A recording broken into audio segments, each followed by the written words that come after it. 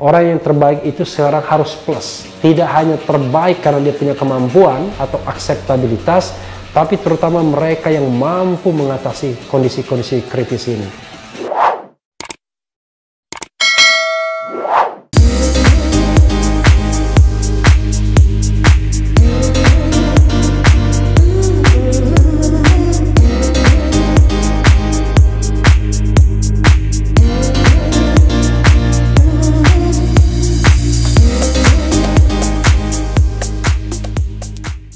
Assalamualaikum warahmatullahi wabarakatuh. Sobat RH sekalian Jumpa lagi kita di channel yang keren Keren cadas. Sekarang kita akan uber. Masih dari sidang tahunan MPR di mana Presiden Jokowi menyampaikan pidatonya. Kali ini soal sisi ekonomi. Presiden mengatakan bahwa negara-negara lain ibarat komputer itu sedang hang karena itu dibutuhkan untuk restart, rebooting. tapi kata Rizal Ramli, jangan-jangan bukan komputernya yang hang, tapi operatornya yang nggak canggih. Hasilnya Rizal Ramli ya. Kita akan bacakan dari kumparan ya. Rizal Ramli sindir Jokowi, bukan komputer hang, operatornya nggak canggih. Itu kata Rizal Ramli. Kumparan Mantan Menteri Koordinator Bidang Perekonomian Rizal Ramli menyindir Presiden Joko Widodo Jokowi soal kondisi ekonomi dunia, termasuk Indonesia yang diibaratkan Jokowi seperti komputer sedang hang dan perlu restart. Tapi perumpamannya milenial juga ya. Pernyataan itu disampaikan Jokowi dalam pidato kenegaraan dalam sidang tahunan MPR RI dan DPR DPD RI tahun 2020 pagi tadi Jumat 14 Agustus ya.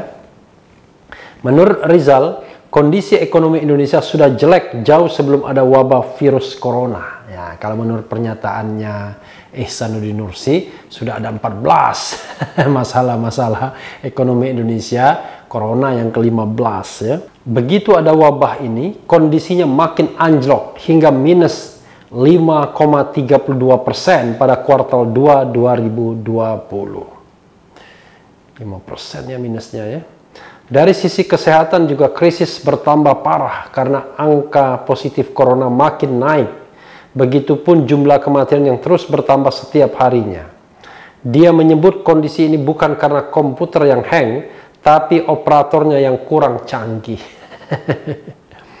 Tadi dikatakan bahwa komputernya hang, saya mohon maaf, tapi jangan-jangan komputernya pejabat yang hang. Kalau misalnya komputernya hang, yang enggak canggih berarti operatornya, ujarnya dalam acara ngobrol perkembangan Indonesia bareng Rizal Ramli secara virtual Jumat 14 Agustus. Oh, ini bisa jadi komputernya hang tetap benar, tapi karena operatornya kurang canggih makanya jadi hang. Atau komputernya nggak hang, operatornya yang nggak bisa sampai terselak saya ngomongnya ya. Menurut dia, kalau hanya komputernya saja yang hang, sangat mudah untuk dihidupkan kembali dengan menekan tombol Control Alt Delete. Luar biasa. Tapi dia melihat saat ini operator yang memiliki komputer tersebut yang tidak bisa mengoperasikan dengan baik. Jadi komputernya dan operatornya ya. Jadi the person behind the gun ya bukan man behind the gun tapi person behind the gun. Kalau hang mah gampang control alt delete kan gampang restart. Kok ribet amat? Nah kalau untuk restart saja pejabat nggak bisa jangan-jangan yang hang bukan komputernya ada hal lain terangnya. Sebelumnya dalam pidato tadi pagi, Jokowi menyebut bahwa semua negara mulai dari negara miskin, berkembang termasuk negara maju, sedang mengalami kemunduran karena terpapar COVID-19. Krisis perekonomian dunia juga terparah dalam sejarah. Di kuartal pertama 2020, pertumbuhan ekonomi Indonesia masih plus 2,97 persen. Tapi di kuartal kedua minus 5,32 persen. Wah, makin mengkhawatirkan ya. Ekonomi negara-negara maju bahkan minus belasan persen sampai minus 17 persen. Kemunduran banyak negara besar ini bisa menjadi peluang dan momentum bagi Indonesia untuk mengejar ketertinggalan. Ya mereka minus dari angka berapa dulu ya? Oke lah. Dia pun mengibaratkan kondisi ekonomi semua negara, termasuk Indonesia, saat ini seperti komputer yang sedang macet. Semua negara pun harus menjalani proses mati sesaat. Ibarat komputer, perekonomian semua negara saat ini sedang macet, sedang hang. Semua negara harus menjalani proses mati komputer sesaat. Harus melakukan restart, harus melakukan rebooting. Semua negara mempunyai kesempatan men-setting ulang semua sistemnya ujar Jokowi. Luar biasa ya. Ya, itu tadi sobat era sekalian soal kritik Rizal Ramli. Bukan komputernya, tapi operatornya. Nah, cuman tidak spesifik Rizal Ramli. Operatornya itu satu operator, dua operator, tiga operator, atau bagaimana? Kita pura-pura bodoh juga. Karena tadi operatornya bilang operator ya, jadi bukan para operator. Karena kalau kita bicara operator ya primus inter paresnya kita tahu, orang nomor satunya kita tahu, kepala pemerintahannya kita tahu, kepala negaranya kita tahu. Jadi soal ekonomi ini adalah soal yang ya tentu bukan wilayah saya. Tapi saya ingin mengatakan bahwa pertanyaan yang terbesar kita adalah bagaimana kita memulihkan ini semua. Kalau dalam bidang ekonomi jelas angka-angkanya. Dalam bidang politik, dalam bidang sosial bagaimana? Nah, jangan sampai kemudian dalam bidang politik misalnya kita rasakan kok pemerintah makin otoriter misalnya, makin tidak bisa menerima perbedaan, sedikit-sedikit kemudian mengancam, sedikit-sedikit mengecap orang sebagai macam-macam. Kemarin pernyataan Presiden Jokowi mengatakan jangan sok paling agamais dan paling pancasilais ya pernyataan seperti itu menurut saya itu menggambarkan ya bagaimana relung hati perasaan istana ya. Kenapa saya bilang istana? Karena tentu yang ngedrapnya barangkali bukan Presiden Jokowi sendiri pastinya. Ya mudah-mudahan Presiden Jokowi membacanya secara baik. Atau kalau nggak sempat ya hanya membacakan saja kita tidak tahu. Dalam bidang sosial, ya saya kira persoalannya adalah soal trust ya apakah ada kepercayaan kepada pemerintah atau tidak. Sosial politik sesungguhnya ya, sosial dan politik. Nah, kalau tidak ada trust susah juga. Nah, trust ini juga yang disinggung oleh Ihsanuddin Nursi misalnya dalam bidang ekonomi. Jadi uh, dari informasi yang saya dengar misalnya, masalah-masalah ekonomi ini sudah muncul sebelumnya, sebelum COVID-19. Ada bank yang mau kolaps misalnya, dan lain sebagainya dan lain sebagainya. Nah, kalau kita lihat misalnya Perpu nomor 1 2020 jelas recovery di bidang ekonomi di bidang finansial itu jauh lebih diutamakan dibandingkan penanganan COVID-19. Dan sekarang terlihat lagi bagaimana sesungguhnya penanganan atau pemulihan ekonomi itu jauh lebih diperhatikan terbukti dengan dibentuknya komite kerja ya. Komite yang secara formal diketuai oleh Menteri Koordinator Bidang Ekonomi Erlangga Hartarto yang ketua pelaksana hariannya adalah Menteri Erick Thohir Menteri BUMN dan kita tahu Erick Thohir core bisnisnya adalah ekonomi bukan kesehatan Nah ini menunjukkan sesungguhnya pemerintah jauh lebih concern untuk ekonomi ketimbang kesehatan itu sendiri. Kita tidak tahu pertimbangannya apa. Ya tentu saja kalau kita lihat aspek-aspek politiknya, kalau kesehatan pandemi COVID-19 ini tidak tahu kapan akan selesainya. Mungkin begitu pikirannya. Jadi kalaupun dideploy semua-semua kekuatan, belum tentu juga bisa mengatasi. Tapi ekonomi ini akan sangat jelas dampak langsungnya. Kalau krisis terjadi, orang kehilangan pekerjaan, sudah mulai kehilangan pekerjaan. Orang mulai tidak bisa makan, perut lapar, tidak ada penghasilan. maka krisis ekonomi bisa mengarah pada krisis sosial. Krisis sosial bisa mengarah pada krisis politik. Krisis politik bisa mengarah kepada hal-hal lain ya. Saya tidak mau berimajinasi lebih lanjut lagi. Tapi kalau berkaca pada tahun 1998, krisis hari ini sangat mungkin jauh lebih berat dibandingkan tahun 98. Kenapa begitu? Karena tahun 98 tidak ada COVID atau pandemi COVID-19-nya. Jadi krisis yang terjadi ya karena betul-betul sebab masalah ekonomi, mismanagement, pengelolaan, masalah properti, di mana krisis tersebut kemudian berantai termasuk Indonesia karena krisisnya. Tahun 97 mulainya kemudian 98 menyebabkan gelombang protes di mana-mana, ada pergantian kepemimpinan, ya, jadi krisis ekonomi, men-trigger krisis sosial, krisis sosial menjadi krisis politik, lalu pergantian kepemimpinan. Apakah itu yang menyebabkan Presiden Jokowi lebih memperhatikan aspek ekonominya? Allahu alam. Tapi memang gejolak-gejolak yang ada saat ini tidak bisa diremehkan. Karena gejolak tersebut dilihat dari beberapa indikator. Ya, indikator yang paling gampang adalah indikator ekonomi. Pertumbuhan yang minus, kesempatan kerja, dan lain sebagainya. Kemudian pengangguran bertambah, orang yang miskin juga bertambah. Dan ini kita tidak tahu bagaimana kemudian bisa diadres kalau di lingkaran istana masih banyak orang-orang yang berpikir untuk kepentingan-kepentingan pemilik modal atau konglomerat. Jadi seperti yang pernah dikatakan Rizal Ramli, ini adalah soal keberpihakan. Apakah pemerintah atau negara mau berpihak pada golongan menengah ke bawah? Kalau berpihak pada golongan menengah ke bawah, mungkin akan ada sustainability. Karena menengah ke bawah bisa hidup, bisa menggeliat. Tapi kalau keberpihakannya pada kaum konglomerat, pemilik modal, pemilik usaha, dan lain sebagainya, maka bisa jadi uang yang digelontorkan banyak sebagai insentif usaha tersebut tidak digunakan pada tempatnya. Karena tidak ada yang menjamin bahwa tidak akan muncul kerusuhan seperti tahun 98. Tidak ada yang menjamin bahwa kondisi kita akan baik-baik saja.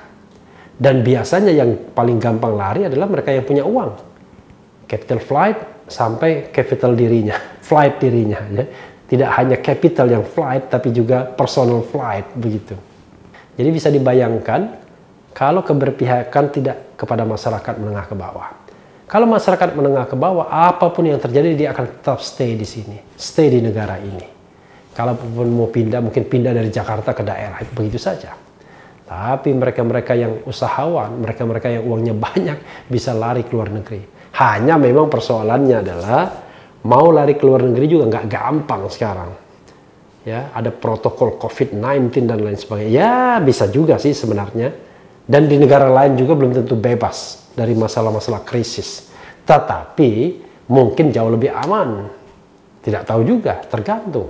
Di sisi lain, sekarang ada kelompok-kelompok kritis semacam kami misalnya, koalisi aksi menyelamatkan Indonesia yang nanti akan dideklarasikan tanggal 18 Agustus pemerintah harus keep on eye juga terhadap kelompok seperti ini.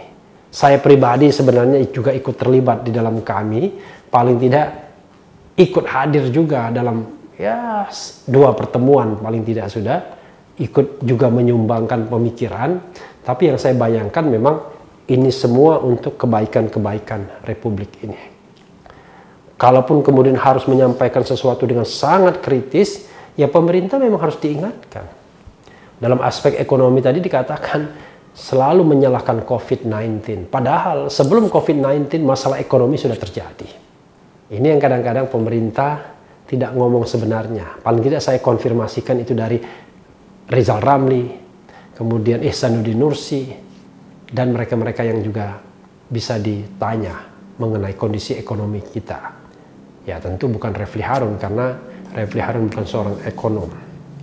Nah, tapi kondisi sosial politik ekonomi ini real ke depan. Hari-hari ke depan kita akan menghadapi tantangan yang luar biasa. Di satu sisi, kalau pemerintah kemudian tidak bisa mengelola aspirasi ini, maka sangat mungkin terjadi hal-hal yang barangkali kita tidak inginkan. Tapi mudah-mudahan sobat era sekalian, ya, terlepas dari hang-heng-hang-heng komputer ini, ada yang diharapkan sebenarnya dari pemerintahan Jokowi. Yaitu, kalau soalnya adalah soal-soal yang berkaitan dengan ekonomi atau personnya, maka kita harapkan terjadi pergantian kabinet, reshuffle untuk mencari orang-orang yang memang pas, orang-orang yang memiliki kemampuan. Jadi, dalam kondisi yang krisis seperti ini, Presiden Jokowi tidak pada tempatnya lagi, kemudian masih juga berpikir akomodasi politik. Carilah orang-orang yang terbaik untuk mengisi pos-pos di mana pun, entah itu pos ekonomi, pos hukum, atau pos-pos lainnya. Karena kalau masih mempertimbangkan akomodasi politik di tengah krisis seperti ini, maka saya kira kita bisa saja tidak selamat jadinya. Ini pertaruhan pemimpin. Pemimpin itu biasanya bisa dilihat ketika kondisi krisis.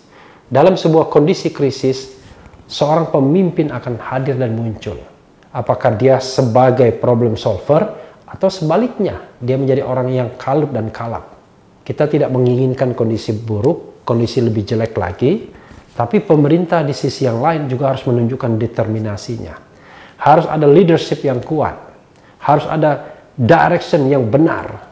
Harus ada sebuah kerja kolektif yang dibantu oleh pembantu-pembantu atau para menteri yang juga memang punya concern, punya kepedulian, punya kapasitas, punya orientasi yang sama dengan kepala negara atau kepala pemerintahannya. Jangan kemudian pembantu-pembantunya, menteri-menterinya malah bermain sendiri-sendiri.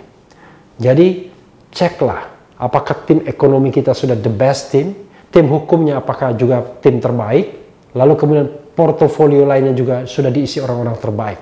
Orang yang terbaik itu sekarang harus plus tidak hanya terbaik karena dia punya kemampuan atau akseptabilitas, tapi terutama mereka yang mampu mengatasi kondisi-kondisi kritis ini, mampu kreatif untuk mengatasi kondisi yang krisis ini.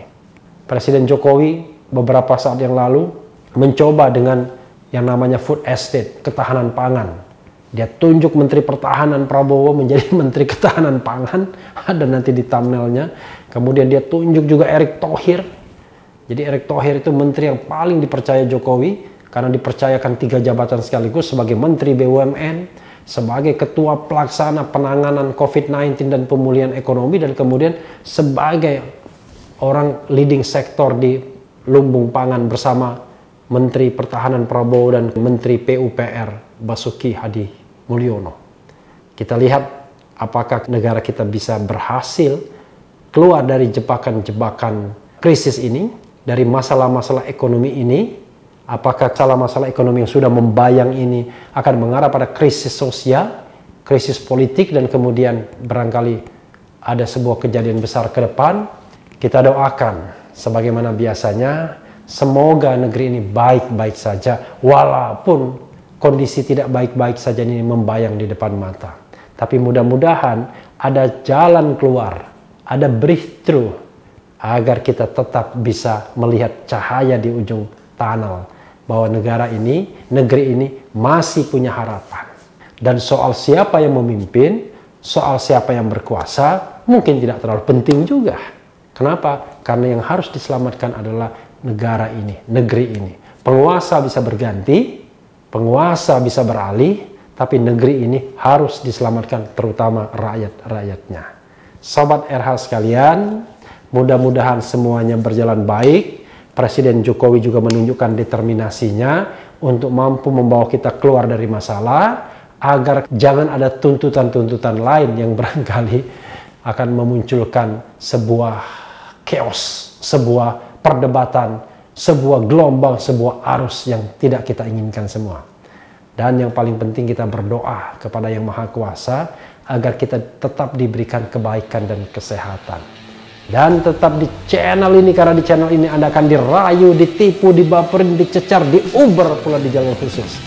Karena channel ini adalah channel yang mengancam, memeras dan membenci. Jangan lupa subscribe, like, comment, and share. Ciao.